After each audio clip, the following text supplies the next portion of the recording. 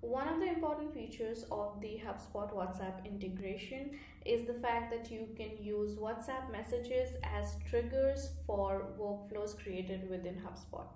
Now to be able to do that, let's say we go into HubSpot and go into workflows.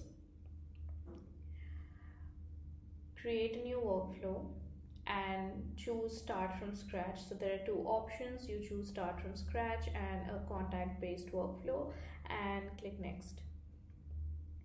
So now here you can uh, name your workflow as with any other workflow within HubSpot.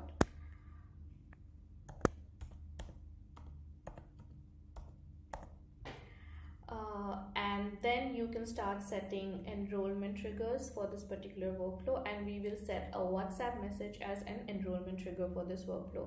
Click on this and we will have a list of triggers available. We will choose HubSpot WhatsApp integration and the trigger can be based on message received or WhatsApp message sent. Now let's say we do it based on message received uh, we have the option of further qualifying this. Let's say we wanted to do on the content of the message.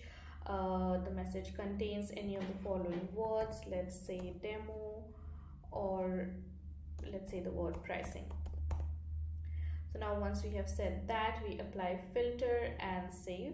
So we have set a whatsapp message as a trigger for this workflow. Now when there is any incoming message with these two words we can trigger a whole set of actions.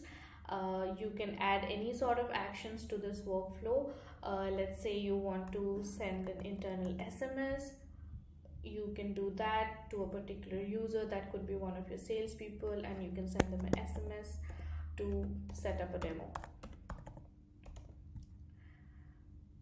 you can also make this workflow more complex or more sophisticated add more actions to it whether that's setting up a task or deal or setting up any sort of a reminder.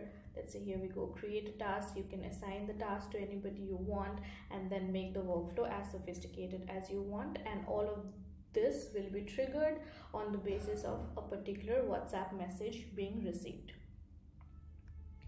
a key thing to remember here is that we can only use WhatsApp messages as triggers for a particular workflow, but not use WhatsApp messages as automated messages or automated actions within the workflow.